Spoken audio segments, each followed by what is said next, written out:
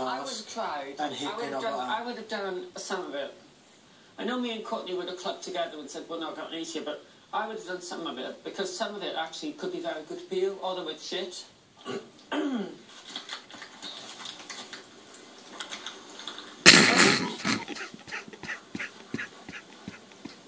Oh God, what's she done now?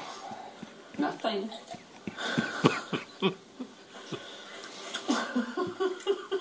Say anything. That's your chair for the duration. Yeah, that's your chair, Lauren, right?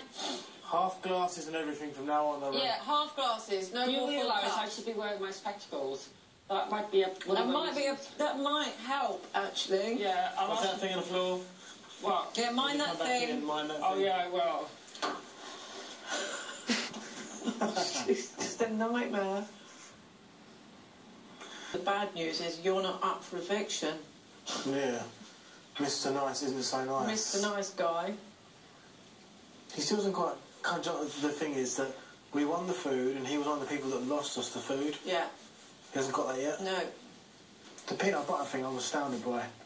I cannot believe that.